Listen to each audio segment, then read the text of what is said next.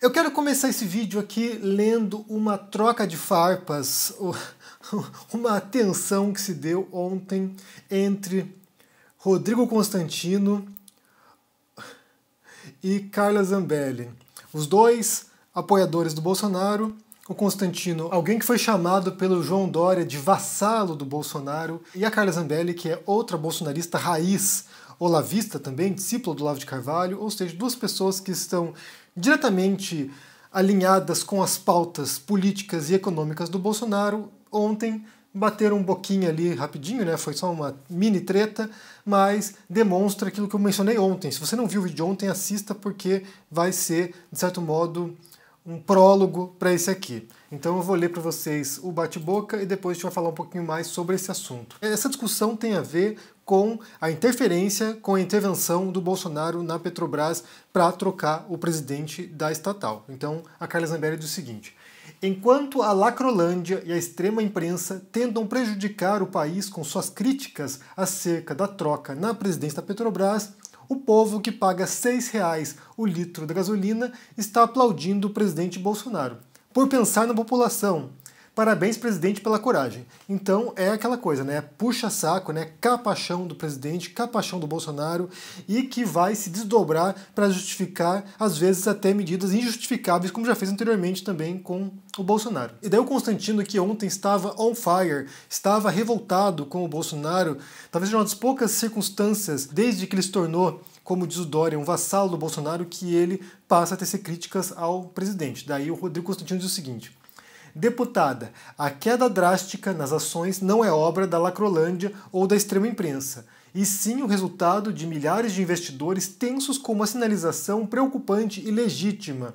Espero que o tempo mostre mesmo que erraram.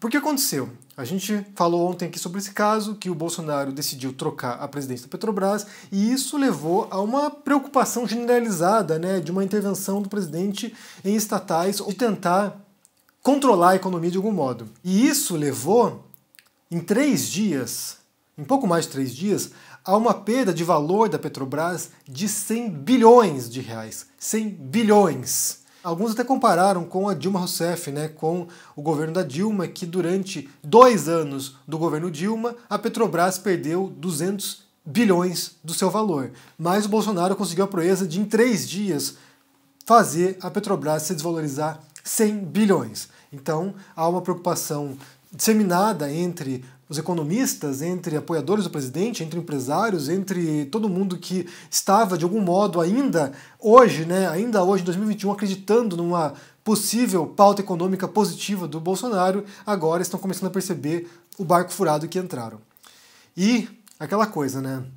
para você ver como funciona a dinâmica do poder, a dinâmica também desses que circundam o poder ou que orbitam o poder e que lucram também com isso. Né? Você tem até agora quase 250 mil mortos na pandemia, em grande parte mortos por causa da inação ou da ação contrária do Bolsonaro em combater a pandemia, 250 mil mortos. Você teve, durante a administração do Bolsonaro, incêndios né, florestais recordes no Brasil, desmatamento na Amazônia, no Pantanal que pegou fogo, ou seja, crimes ambientais, catástrofes ambientais que repercutiram na imprensa mundial. Você teve uma destruição da diplomacia brasileira, você teve uma destruição da reputação do Brasil no exterior.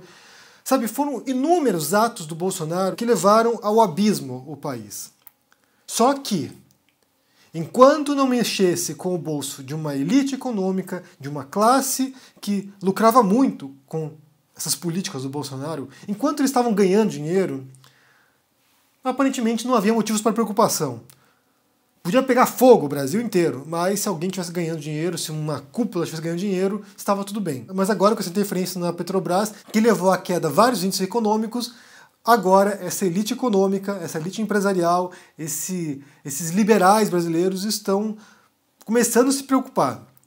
Inclusive, tem uma reportagem de ontem que eu vou pôr para vocês aqui no comentário fixado, com a manchete Bolsonaro perdeu o apoio do mercado financeiro que ajudou a elegê-lo, diz empresário, e é uma entrevista com Felipe Miranda, sócio fundador da Empíricos. E daí ele diz aqui né, que no momento em que ele fez o que ele fez, interferindo na Petrobras, ele perdeu o apoio de parte do empresariado e do mercado financeiro. Isso é o Felipe Miranda falando. O mercado não foi tão ingênuo, mas acho que a quantidade de intervencionismo que está havendo agora e o medo de uma guinada 100% intervencionista e de uma ruptura de regime, ninguém acredita muito mais opa, talvez isso aqui tenha que entrar na conta. Ou seja, ele mostra aqui que os empresários sabiam que estavam comprando, mas não achavam que fosse tão longe assim como o Bolsonaro está indo agora. Eu falei ontem sobre isso, né, sobre os apoiadores, né, sobre como cada governo, cada regime, cada governante, seja democrático ou ditatorial, precisa de bases de apoio. Não é uma única base, não é a população. Você tem a população, no caso do regime democrático, você tem a população, você tem empresários, você tem sabe? Uma elite intelectual, uma elite cultural. Você tem diferentes forças que vão contribuindo para a manutenção de alguém no poder. Ontem eu falei sobre os caminhoneiros, né? Os caminhoneiros fizeram uma paralisação, uma mega paralisação em 2018, e isso com o apoio do Bolsonaro, e agora que essa manobra dele na Petrobras poderia também indicar que ele está tentando apaziguar os caminhoneiros ao tentar controlar o preço do diesel, ou tentar de algum modo baixar o preço do diesel para os caminhoneiros. Me falaram ontem nos comentários aqui que, na verdade, pode ter a ver com a recusa do ex-presidente da Petrobras em destinar uma verba de 100 milhões de reais para propaganda em emissoras ou rádios alinhadas ao Bolsonaro. Talvez seja isso. Eu vi reportagem nesse sentido também, dizendo que o outro presidente não queria aceitar isso. Então pode ser que tenha a ver com isso. O que seria mais estúpido ainda, né? Se o Bolsonaro pensou nos caminhoneiros e eu vou tentar apaziguar aqui essa base porque isso pode me afetar adiante, ainda é um cálculo estratégico de algum modo, embora as consequências tenham sido muito piores do que o problema. Então, assim, ele tenta consertar um negócio e piora do outro lado muito mais. Mas se fosse essa lógica dos caminhoneiros, ainda teria um certo senso estratégico. Agora, se for por causa de dinheiro para propaganda, para publicidade em emissoras de TV ou rádio bolsonaristas, aí ele é um estúpido maior do que a gente poderia sequer imaginar. Aí ele é um burro completo, porque por causa de 100 milhões de propaganda, ele queima, ele derrete 100 bilhões de reais de valor da Petrobras. Então, se for esse segundo caso, ele é um completo estúpido, é um animal ainda mais irracional do que a gente poderia sequer imaginar. Eu prefiro pensar que seja por causa do caminhoneiro, mas pode ser que seja isso o que piora a situação, o que ainda mais mais Bolsonaro ainda, na verdade, né? Mais Bolsonaro isso, né? Um ato estúpido por causa de propaganda de televisão e de rádio.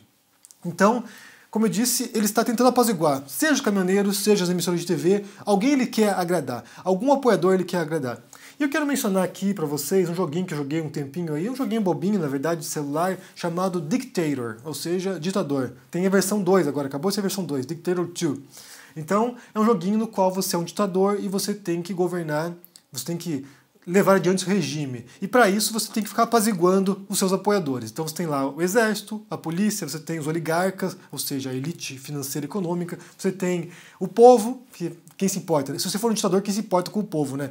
Tem o povo, você tem a oposição política, você tem ali outros grupos, né? Tem alguns grupos, o crime organizado também. Em cada rodada você tem que dar benefícios, benesses para esses apoiadores seus, porque você agrada um grupo e com isso, você vai mantendo o suporte desse grupo. Só que toda vez que você agrada um grupo, toda vez que você dá uma benesse para o exército, por exemplo, você desagrada outro grupo. Você desagrada a população, você desagrada os oligarcas, você desagrada, sei lá, a oposição política. Embora seja uma lógica ultra simplificada desse joguinho, reflete aquilo que eu falei ontem sobre essas bases de apoio. Porque, por exemplo, ele vai tentar agradar os caminhoneiros ou tentar agradar a imprensa alinhada ao bolsonarismo. Ao fazer isso e trocar a presidência da Petrobras para agradar um grupo, qualquer um que seja, o que ele faz como consequência disso é desagradar outros grupos, inclusive de apoiadores dele.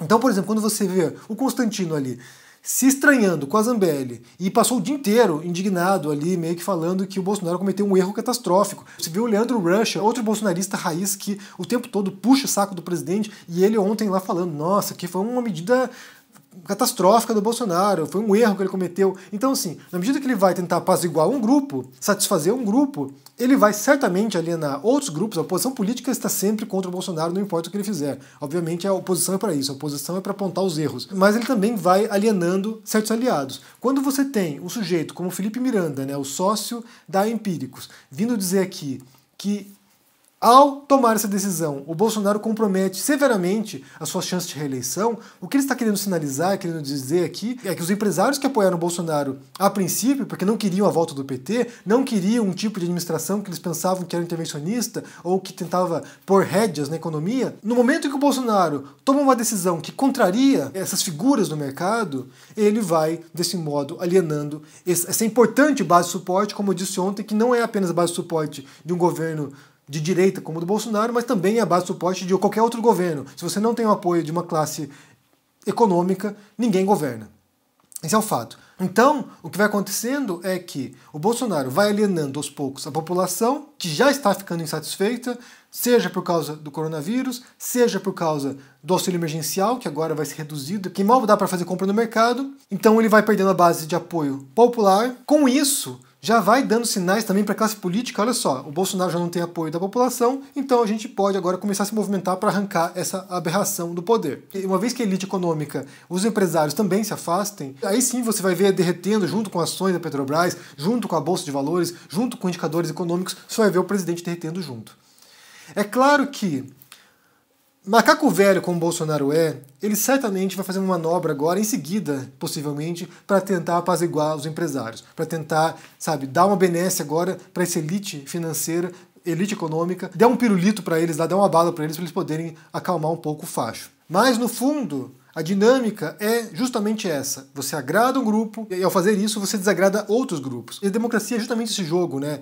Na medida que você vai criando inimizades, que você vai alienando aliados também, isso vai levando à sucessão de poder. Então, assim, essa pessoa cometeu uma série de erros, e todos cometem erros, cometeu uma série de erros, então eu não quero que essa pessoa volte para o poder, nem seus apoiadores, nem qualquer pessoa alinhada a essa figura, então gente vota em outra pessoa, gente põe outra pessoa no poder. Ainda tem essa possibilidade, né? Diferente de um regime autocrático, ditatorial, você não tem essa possibilidade. Você tem que aguentar lá, você tem que amargar um ditador durante décadas. No caso do regime democrático, você pode, depois de quatro anos, trocar a pessoa, ou se ele for muito ruim, se ele for muito criminoso, se ele for muito péssimo, se ele for um incompetente completo, como parece ser o Bolsonaro em todos os sentidos, aí você pode remover esse presidente no meio do mandato e tocar o bonde adiante. É difícil prever até quando o Constantino vai ficar brabinho com o Bolsonaro, pode ser que hoje ele já volte apaziguado, mas ontem eu vi pela primeira vez certas pessoas, certos influenciadores, certos comunicadores alinhados em muitos sentidos com a extrema-direita,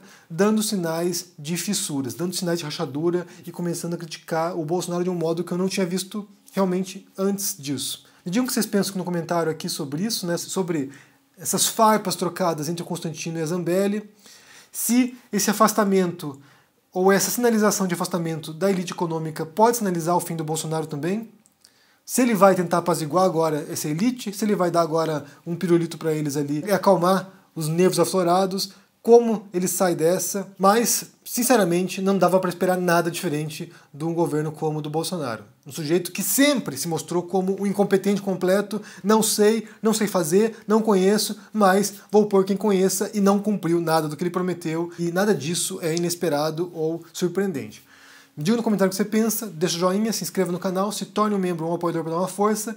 Se torne um aluno do ICL. Estou com um curso agora de escrita narrativas por lá, para quem deseja aprender a escrever, publicar um livro, se tornar um escritor. Então confira e também confira meus livros sobre o Bolsonaro, no qual ele manda todos os sinais do que ele está fazendo, gente. Sinceramente, como eu disse, não surpreende ninguém, ou não deveria surpreender, de fato, nem mercado, nem apoiadores, nem ninguém. Ninguém deveria ser surpreso, porque ele sempre se mostrou como essa figura. E confira também o meu livro sobre Jesus histórico, chamado O Rei de Judeus, um romance sobre Jesus.